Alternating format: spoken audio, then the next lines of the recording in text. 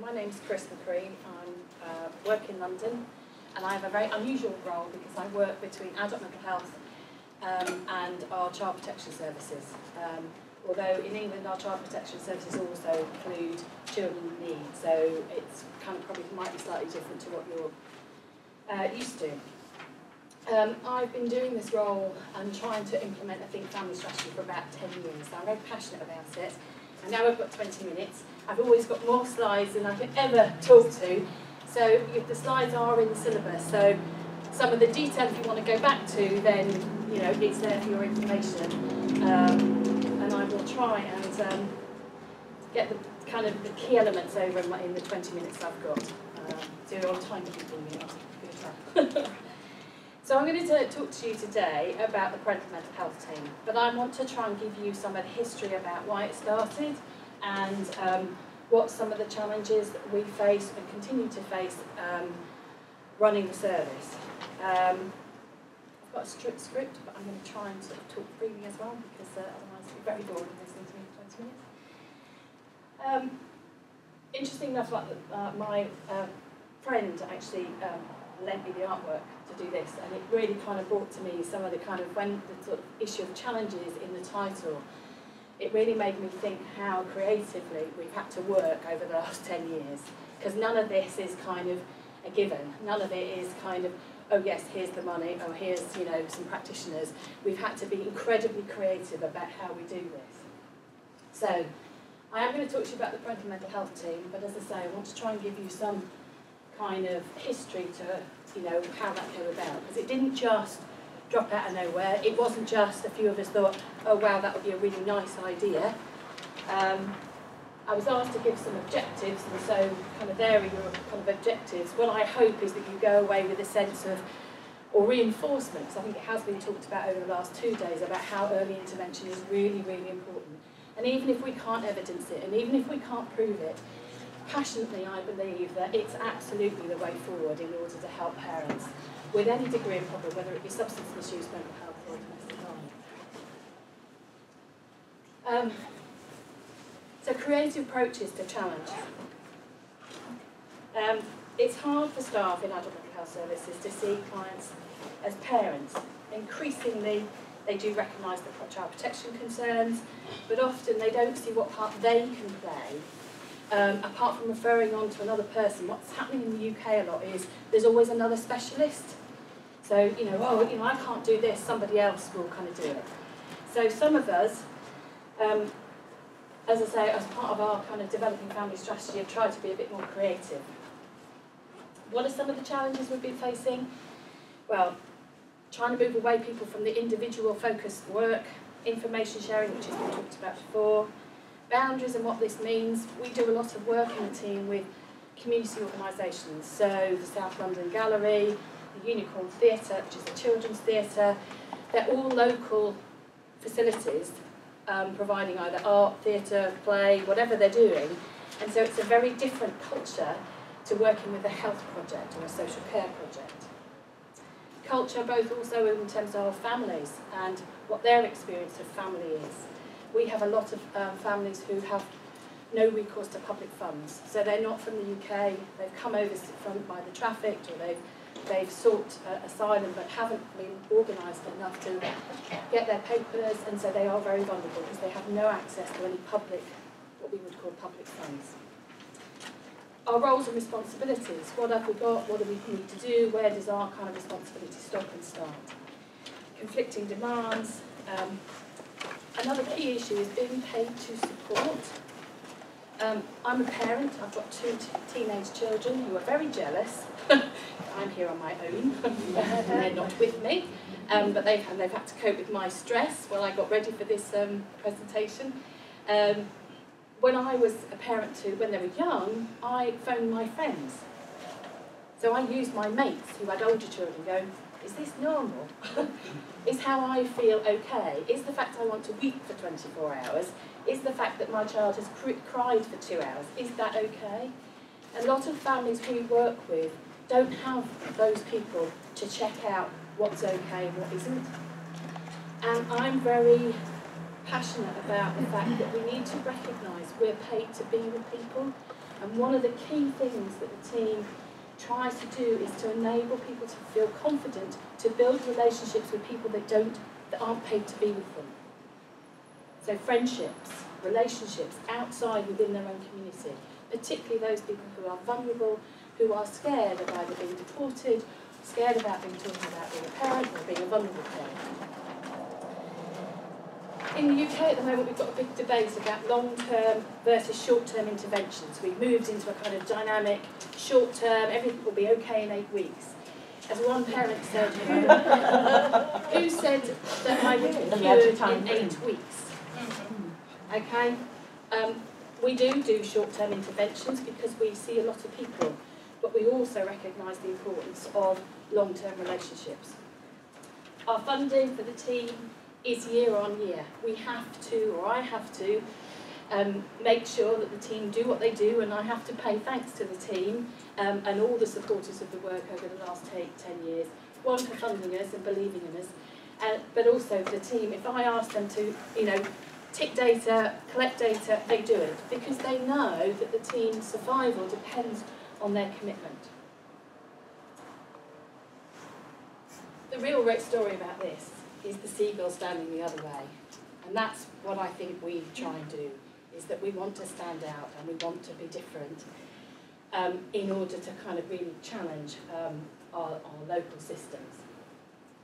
So why are under fives a vulnerable group? We've talked a lot over the last, um, feels like a long time, but two, one and a half days, um, about the vulnerability. And in, in, as Adrian has talked about, in the UK we do serious case reviews of child deaths, um, where services have been significantly involved. Um, and the highest risk is, is, is death, particularly to one-year-olds. But we know, and I'm not going to insult your intelligence, that all the other developmental features of being an under five are, are key to how we are as an adult. So our emotional, our physical, our all our development, you know, is really key at that point about teaching and learning and relationships um, and trust is, is absolutely key before the age of five. Um, we have a family strategy, which is what I'm responsible for implementing.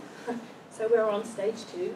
This is co-written with a parent, um, and we've had active involvement from young carers, parents, um, children's services, um, child and adolescent services, adult mental health. So there's been a systematic sign-up. Um, it does take a lot of work to keep going. it's, you have to keep nagging. I'm a nag. it's my little middle name. Um, so, but the history behind this, why did it happen? In 2004, two children died, both killed by their mothers. One child was a five-year-old whose mother took her own life and that of his, her child and the other was a baby less than three months old. And whilst his mother was experiencing a major relapse of her mental illness, inadvertently took the life of her child. The key issues with these families were the lack of professional understanding of the needs of the child, lack of communication, and a lack of a Think Family approach. It certainly wasn't the lack of service involvement. All of, both of these families had significant service involvement. They had adult mental health, they had children's services, in, in one case because the five-year-old actually had his own disability. Um, so it wasn't for the lack of provision, interestingly enough. Um, the, the lady with, um, who took the life of her baby was very well known to our services. So, and had a previous child. So actually, if the care coordinator, as we call them in the UK, had actually looked back at her first and sat with mum and said, what happened the first time you had a child? How did it go? Because actually she had a very long admission to a mother and baby, and actually the child was fostered for a period of time. And then grandma came into the picture and helped, and grandma continued to look after her adult daughter and her first and her first grandson. But we didn't look at any of that. So hence the development of family strategy, which tries to align itself with government policy, although that's changeable depending on who's in power at the time. Um, but it tries to highlight the philosophical need for a strategy so that we do have a lot of parents. It is important that we recognise what their needs are, but we also need to recognise the needs of children. So it's that, and we've had those difficult conversations with parents. We've talked about our roles and responsibilities, what we need to do, and why we talk about risk, um, because we can't avoid those conversations. But as I think somebody said at some point, if you have those conversations at the beginning, at the point of assessment, as a natural part of your coming into the service, wherever it is, then actually when you're in a crisis on a Friday afternoon, me as a, as a nurse talking to you as a parent about why you might, we might need to involve child protection services is less of a shock. Because actually parents don't want to harm their children. Parents know they need help. And whatever services need to wrap around, it's much better if they know that that might happen as part of the assessment, as opposed to crisis when it's all going pear-shaped. And it's usually on Friday at 5 o'clock. Yeah? So that's what the family strategy. We've, we've developed training. Oh, we've developed training packages, um, and as I say, uh, we've also got a film about parents. So, okay, very quickly, Southwark data. I go a bit dyslexic with data, but Southwark is young population. I think the, can be the key thing is that the 42% of um, children living in single parent households. So the additional stress that, that brings both financially and emotionally. Um, parents always say to me, whenever you talk, Chris, please make sure you give our messages. I can't give, um, oh, what's the word, sort of the importance to it as much as I would want to, but the key thing they say is they want services that don't discriminate, that understand the needs and that are honest with them. Um, the team, the, the in terms of the parental mental health team, it's a systemic, it's um, nurse-led, it's um, imaginative because it uses groups and home visiting and uh, one-to-one -one intervention. It has a very good understanding of attachment. That is key to understanding. It has very honest conversations with the parents when they come into the service. Um, it understands the stigma and the difficulty parents have talking about their situation, but that is part of an inherent part of the assessment. It's really important that we have those conversations early on. And if parents struggle to engage, we go and take them. So if they want to join a group, and we know they're going to struggle because they've got a two-year-old and a one-year-old, and the bus system in London is relatively good, but it doesn't necessarily go the way you want it to do, uh, we'll go and pick them up. So we'll get them on the bus. Um, all the groups take place in our children's centres, which are what we call universal services. So the idea is that they then engage with universal services, so that they're not dependent on us forever. They're actually empowered to kind of go, do you know what, this children's centre is quite nice. So we've had lots of new ones built. It's not too bad, and actually that kind of parent support work is quite nice, really. And so the idea is that we help people move on. Um, I think I've said those. The only eligibility criteria for this service is having a child under five and having a parent who has some degree of mental distress. We don't expect the practitioners to make that diagnosis. So it's health visitors, midwives. They can just have a woman who's going, I can't cope, and weepy. And, and they can make a referral. Okay? Um, it may well be that when the parent gets there, they go, well, we don't really know why they've been referred. We'll do some signposting, that's fine. But we will try and ensure that um, people get the right to the right place. Um, it's boring. I've talked about this sort of services. Um, we are doing, I'm just going to run through these. We've do, we're doing one particular group that we're evaluating with our local art gallery. And so the art are doing their evaluation and health are doing their evaluation, which is a very interesting dynamic, and it's a very different set of languages that as a non-artist scares me to death. um, but we have seen, and, and we, we commonly see any, a decrease in sort of stress, a decrease in, in um, depression, and an increase in um, um, social kind of, or a decrease in social isolation. Um, in terms of commonalities between participants, um, parents talk to one another. All the groups we do have an opportunity for parent time for maybe a couple of weeks and then parent and kid time. Um, apart from one, which is the therapeutic toddler group, which is a long-term group based on an Anna Freud model. Some people might know that. Um, and that's for parents who are perhaps struggling more with parenting and there's an awful lot more kind of role modelling. And so the whole group is with the child, uh, uh, the toddler and the parent. Um, it's about having fun. And what's really interesting is when a parent said to a worker, do you know what, I didn't know that you had to buy toys until the child was five. So we said, no, no, it's really good for kids to have toys, but we know you haven't got a lot of money. So anyway, she went and bought some toys, but she bought toys for a five-year-old. So the next time the team went and said, look, shall we come with you? And we went with her and took the toys back and exchanged them for. So some of the stuff we do is really simple. It's not complicated. It's it's pretty basic. I'm not going to give you Ina's story, which is a bit of a shame, but I've put um. Okay, thank you. Um, on the your chairs, there is a just a short article about the team, which gives a a parent story. I'm always very keen that people need to hear uh, parent stories, and I was going to tell one, but it didn't matter how many times I chimed to myself. you know, you never have enough time. Our future aspirations, well, we want to obviously secure funding for a longer period than a year. Um, and we want to continue to seek additional funding for those creative projects because the feedback we've had from parents, the recent group we were doing in the theatre group, parents were saying, I have never been to the theatre. And they go and they have fun.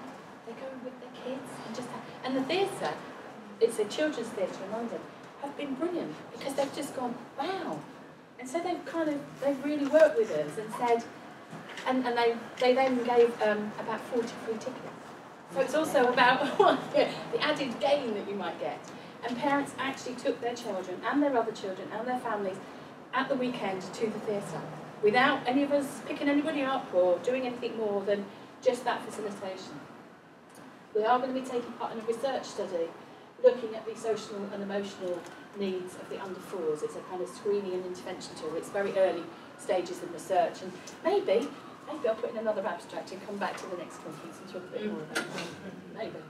Um, we're also looking at possibility of future involvement in study regarding parents with diagnosis of personality disorder because there is a lot of difficulties, a lot of myths, a lot of kind of challenges, and, and, and it's, I think it's important work right? because I think there's a lot of um, perceptions um, that don't get explored enough. Um, and we will continue to kind of work with um, our, the Centre for Parent and Child Support to develop our training package for adult mental health staff.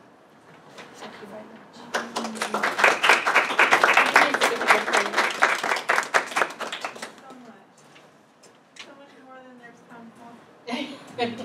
Questions for Chris? How can we get a program like that out here in the US? Yes. we really need it. Yes. we could really, really, it would change, like no joke, it would really tremendously make a huge difference if we had CPS to support us parents through our hardships too, to continue being able to be there for our children and provide for them the way they deserve to be I mean, what's interesting about the team, and very unusual in the UK, it's funded by Children's Services. So it's an adult service um, funded by Children's Services. And I'm one day I'm waking, I'm going to sort of go, they, one day they're going to wake up and realise this.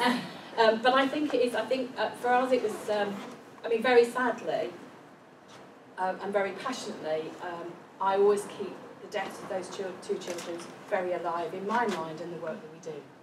Because that was the kind of start of it. I think for me, having the family strategy as a kind of overarching kind of um, document and getting people on board in order to support me, um, and, and there's been some fantastic people who've kind of supported me over the years. So we worked as a group because we didn't just kind of go, oh, we want a team. The family strategy came first, and then right, what services, what what's going to meet the needs of the parents that don't meet. A lot of the parents we see would not normally meet the threshold for adult mental health services. Some do because we'll work across the board. So we'll work with child protection, we'll work with um, adult mental health. But some of the parents actually would never meet threshold. They would just rumble along until crisis hits, ambulance, hospital, child in foster care, you know. get one of those booklets? Uh, if you email me, my email is there.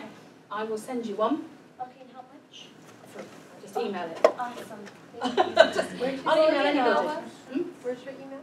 It's I'm not just there. Oh, yeah, Sorry, that's- it's, it's a little I gotta go take a see. picture of that. Okay, um, first I just want to make a comment because you mentioned that a lot of your families, they're afraid of dealing with the child protection agencies.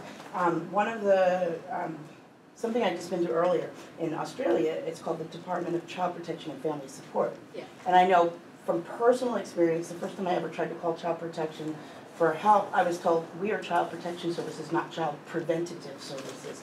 So mm-hmm. how do they, where you live, how do they assist families so that they're not getting into the system and the resources are provided prior to having these crises? I think, I mean, our services are, are slightly different and they, they differ across sort of Mhm. sort of borough to borough, but you know, what I'm used to is is children's services where child protection is an aspect of that. So um, in we've just had recent government guidance um, review um, called Working Together, and it's very clear in that document. It says early help is a prime responsibility of the local authority, and that each local authority has has been charged, if you like, with providing early help services. Um, so children's services where child protection sits knows that they've got to kind of provide early help. And actually in the UK, they don't want to bring, it's too costly, they don't want to bring people in. In fact, I was saying to somebody earlier, it's, it's quite hard for us to get children into child protection services that we think need to have that support because the threshold's actually really high. So um, I think it's again, it's about the who's responsible for that early help kind of offer, if you like. Sorry, it's probably not answered your question. No, that's okay, but what would you suggest that we do where we live to try to, you know, make the, the experience less adversarial, shall we say? Yeah. Um, I, I mean, I think the one thing we did from the very beginning, I had a colleague, um, Paul Angley, who was the one of the senior managers in um, children's services, who was very engaged in this whole project. So I think it's sometimes down to finding individuals who you know think in a like-minded way and getting them around the table. I keep Because if you get a like-minded individual, they will know somebody else. Yeah? Um, and they will then talk, have that conversation with that person who might be not quite so like-minded, but they will ne- take the next step. Just so. But it, there is something about key stakeholders around the table. How did you get past the diagnosis of the parent, not needing a diagnosis of the parent? I think because we're funded through children's services and because we're early help, um, and because people don't quite know what to do with it. So adult mental health go, okay, you're bringing money into the trust, we're not going to worry too much. Yeah. Um, and we don't, and, and, and we don't have a psychiatrist in the team, but clearly where we are concerned about somebody's mental health, what the team are able to do is work really well with adult mental health. And we've done, a, I've done a lot of work, because of my role, I've done a lot of work with the adult mental health in order to help them understand the whole issue around Think Family. So, and they see the team as a real advantage because people who get referred, they no longer have to say, sorry, there's no service. They can go, yippee, you've got a child under five. You can go to this uh-huh. service. And so quid pro quo, if we need a psychiatrist, we need a team approach because of the risk. We go, look, we'll continue to work with this family, but we need your extra help because actually we have got a mum or a dad talking about suicide and we can't manage all that. It's a very, very small team. Thank you so much. Thank you. Thank you.